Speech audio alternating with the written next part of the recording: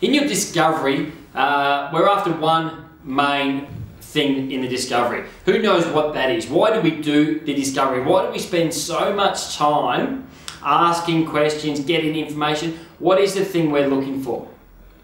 That's right, we're after the dominant buying motive. Now there's two or three other things which we're looking for as well, but the dominant buying motive or the DBM is the most critical thing that we're looking for in the discovery section of our presentation. So the discovery is just the next step of the sales process and we're looking for the DBM. So how do you get the DBM? What is it that, you know, how does that come about? You know, you get the DBM in a few different ways. You know, you need to do that in different uh, levels of questions. So your first, second, third level questioning, which we'll talk about in a minute.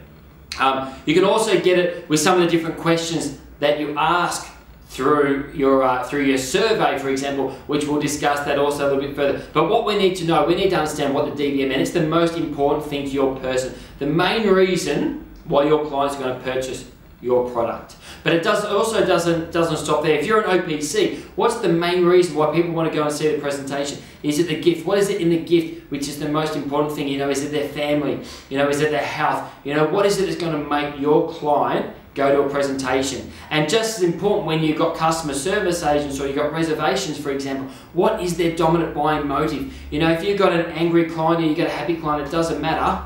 We need to find the dominant buying motive in every single selling situation. If we don't get the dominant buying motive, we can't get a sale.